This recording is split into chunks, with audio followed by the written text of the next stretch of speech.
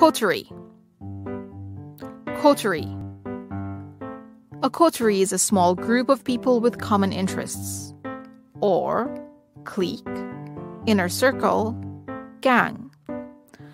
For example, she was famous among a small coterie of fans. They went to a boat trip with a small coterie of friends and advisors. The police investigated the coterie of hackers.